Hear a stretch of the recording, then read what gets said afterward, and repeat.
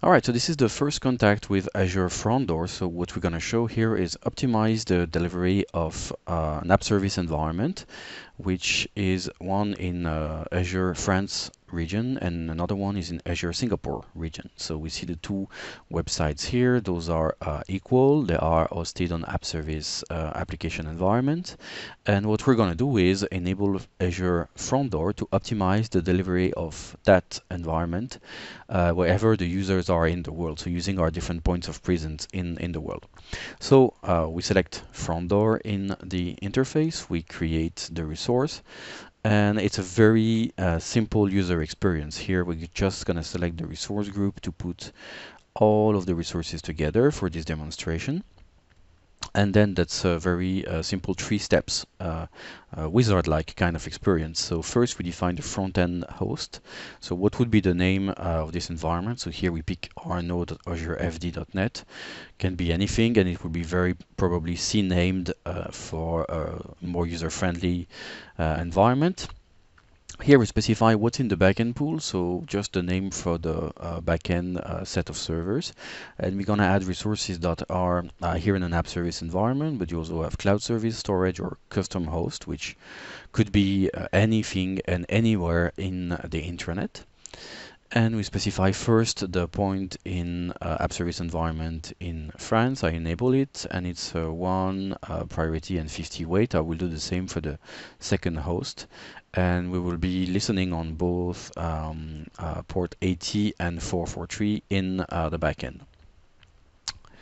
So in terms of load balancing, you see that here uh, I will be actually have no latency sensitivity, which means that all the machines belong to the load balancing set. But if one server shouldn't be lower than 10 ms of latency, then it won't be participating into the, the load balancing set, let's say. So here we had a routing rule and we just specify a basic name, which I would say, okay, I will route everything from the front end to the back end on both HTTP and HTTPS. And in the advanced uh, parameter, I will basically serve both requests on HTTP and HTTPS, and I will enable caching and dynamic compression on this environment. I then select add and here we go. You can create the front door service. It's going to take a couple of seconds to uh, finish the setup of it. And here that's the um, control panel that we have for it, the pane that we have for uh, Azure Front Door. So we can see the metrics and we can see the front door uh, designer where we can modify the configuration and purge the content of the cache.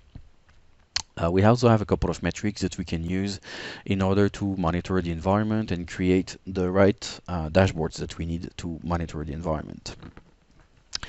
Out of that, let's see how it looks like. So we're going to do a first request to arnaud.azurefd.net to warm up the cache and then we're going to do a little bit measurement. So we're going to use the developer tools here in uh, the Edge browser with no cache and we're to check at the delivery time for the for the service.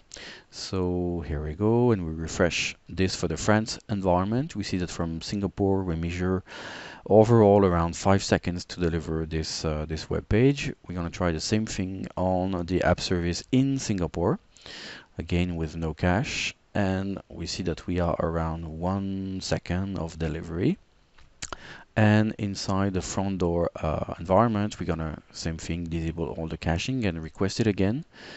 And we see that we are at around 700 milliseconds. So that's already uh, something around 30% uh, uh, improvement in the delivery of the application. So without doing anything uh, we already showed some some results we can get back on the environment and we see some of the metrics. We see the request count and we see the backend health percentage. So the two hosts are up, so that's good.